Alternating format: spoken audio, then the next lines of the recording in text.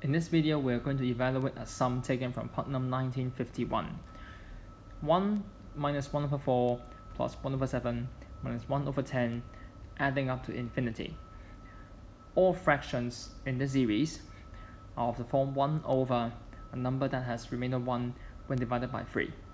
Before we move on, don't forget to give a like, subscribe to my channel, and turn on post notifications.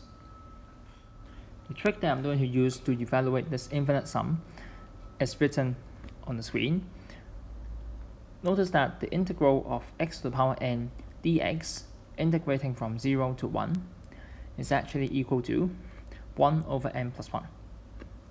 So I'm going to write these fractions, the terms inside the infinite sum, in terms of integrals. For example, 1 over 4 so you can see will be the integral of x cubed with the same limits. And then 1 over 7 will be x to the power 6. 1 over 10 will be that of x to the power 9. Of course, for our first term, which is just 1, I can also write that as 1 to be integral of some constant. And for the sake of convenience, for this time, I'm going to take this constant to be equal to 1. So if I'm writing all the terms, all the fractions in terms of integrals, the sum will eventually equal to the integral of the following polynomial from 0 to 1 which is that 1 minus x cubed plus x to the power 6 minus x to the power 9 plus x to the power 12 minus x to the power 15 and so on dx. The reason that this is useful because when I first saw the entries of each term, they are all of the form say 3k plus 1. So if I write it in terms of integrals, then I kind of split shift each number down by one and they will all become multiples of 3. And it so happens that if I uh, treat it with integrals, then I'm just integrating a power series because I'm having all the terms of x to the power multiples of 3. Now, for this power series, it's actually geometric. So I write this to be 1 over 1 minus negative x to the power 3 dx. The reason that I can do this is that this geometric series would definitely have a common ratio of uh, something between uh, minus 1 and 0. The reason is that I've restricted the x these x to be between 0 and 1 because I'm integrating under these limits, within these limits. And the common ratio is negative of such number cubed, so it's it will also be falling between the range minus 1 and 1. So then I can use the formula of first term over 1 minus common ratio. And so simplifying, we will have a very standard integral, which is 1 over 1 plus x cubed dx. And the way that I'm going to handle this is with the help of partial fractions. So notice that for the, for the denominator, 1 plus x cubed, it can be factorized into x plus 1 times x squared minus x plus 1. So let's see how I can split that into partial fractions. So the way I'm going to do this is that I'm going to let 1 over x cubed plus 1 to be all to identically uh, identical to a constant over x plus 1 plus some linear expression over x squared minus x plus 1. Some kind of, I should say, this phrase proper rational functions. so that the degree of the numerator will always be strictly less than that of the denominator. If I have a linear term below, like here, then the top on top of that, it must be something of degree 0, which is a constant. And similarly, for x squared minus x plus 1, the degree is 2. So the thing above it can only have degree at most 1. Now, I'm going to simplify the right hand side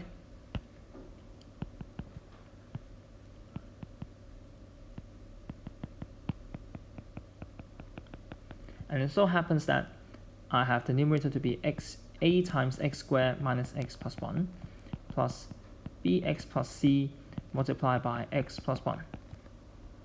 And so simplifying, I have a plus b times x squared, I just group terms. So for x squared I have a plus b, and then for x we have b plus c minus a and for constant we have a plus c. So you can see that we have the same denominator, bottom entry, and now we can compare like terms at the top. One comparing with these terms, and they must be equal for any x. So compare like terms,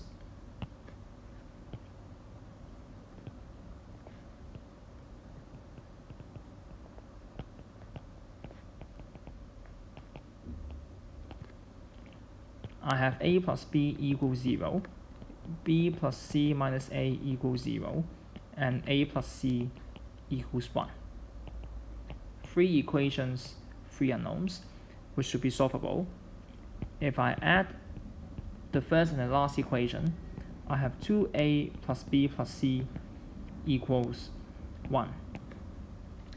And if I subtract this by the second, then I will have 3a to be equal to 1 and so a equals 1 third so I can proceed accordingly and b equals to minus 1 over 3 and c equals 2 over 3 now what's the meaning of doing all of this? That means according to what I've assumed at the top I can then proceed to integrate one third of 1 over x plus 1 plus minus 1 over 3 x plus 2 over 3 over x squared minus x plus 1 dx. And so the, frac the fractions becomes integrable with our standard scales. So for the first integral, it's just 1 over x plus 1 times a constant which is fine because it will definitely become a natural log. And the second one becomes slightly harder.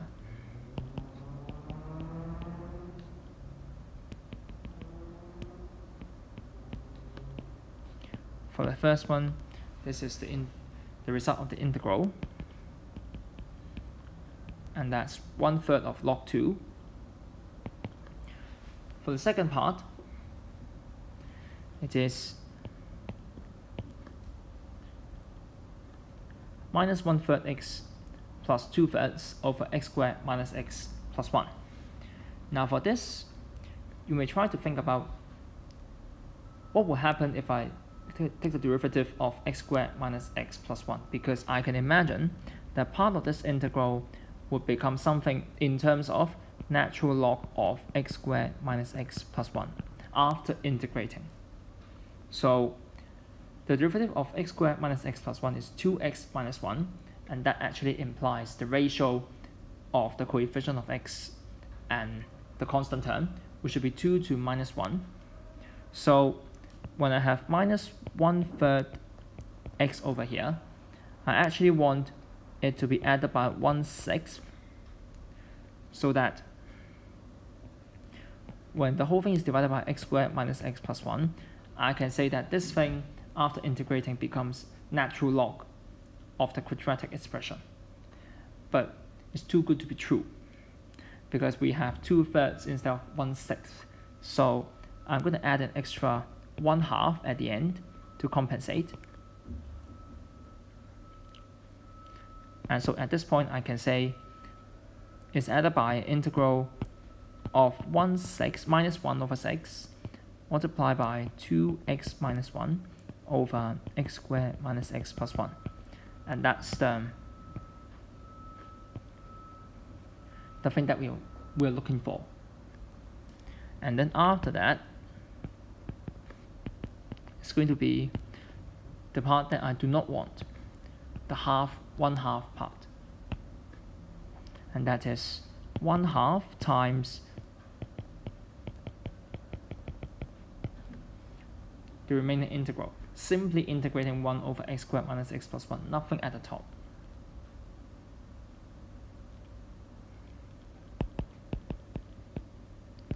But before we handle that, let's do the second integral. That is minus 1 6 and the natural log of x squared minus x plus 1 between 1 and 0 and then 1 half of the last integral. It so happens that this term will always be 0 no matter when x is equal to either equal to 0 or 1. So it remains to handle the last integral. We've quickly finished the second integral.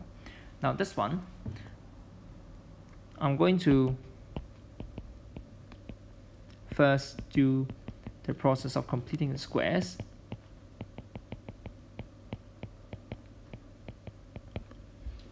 So we have an integral of the form dx over some square plus 3 of, plus a constant. And for integrals of this form, I'm going to bring in some trigonometric substitution, which is to let x minus 1 half to be this function, root 3 over 2 times tangent theta. Because once I square it, I will then have the same constant next to the square inside the integral,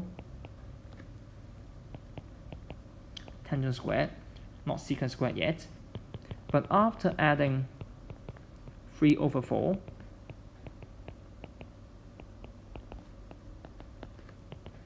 I'll have 3 quarters times tangent squared plus 1, and that is 3 fourths secant squared theta. And what's more is that if I take the differential from the thing I've left, like I've set out the theta, for left hand side it becomes dx, while for right hand side it's root 3 over 2 secant square theta d theta. Oh, by the way, I have forgotten the limits.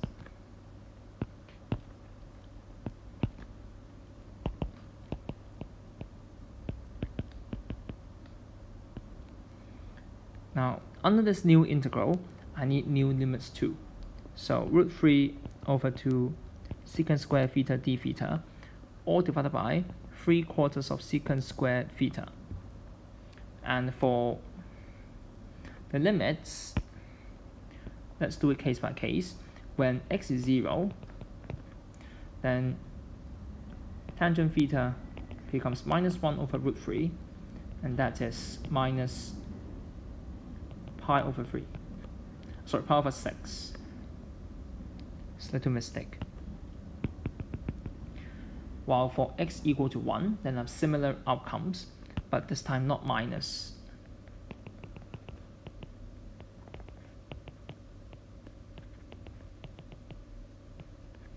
It's just plus pi over 6.